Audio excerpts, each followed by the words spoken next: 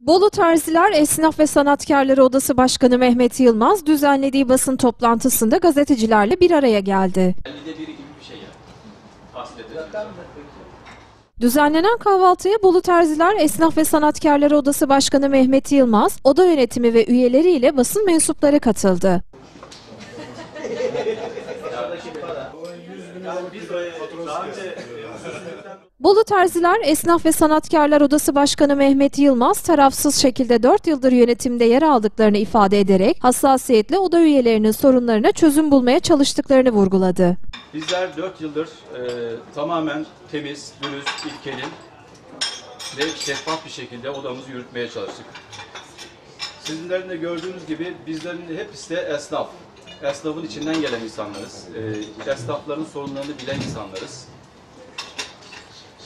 Bizler taraflı tarafsız değil, e, herkesin e, oda başkanlığını yapmaya çalıştık ve oda yönetimi olarak e, huzurumuzdayız. E, yaklaşık bir yıl önce ikinci bir Bolu'ya esnaf kefalet kooperatifi kazandırdık.